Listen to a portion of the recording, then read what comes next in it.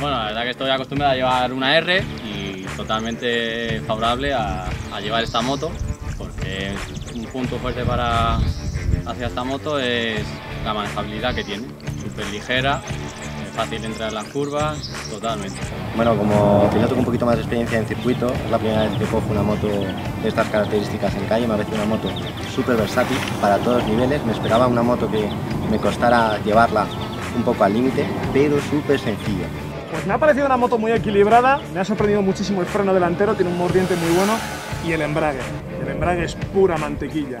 Bueno, eh, aunque parezca una moto muy grande y muy potente, eh, ahora cuando empezamos con el Carnet A2 podemos estar un poco más preocupados de que sea mucha cilindrada, pero nos hemos encontrado una moto muy sencilla. La parte ciclo es muchísimo más dinámica, puedes atacar las curvas increíblemente bien y da una sensación de seguridad espectacular.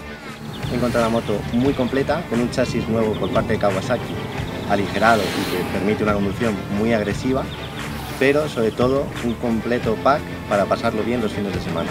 Me ha parecido muy fácil de conducir, creo que para la 2 es, es perfecta porque empuja desde abajo hasta arriba y en ningún momento te da ningún susto. Muy contento. Eh, la verdad que la estética de la moto me ha encantado y de hecho porque me han dicho que es la Z900 A2, que si no ni, ni te das cuenta.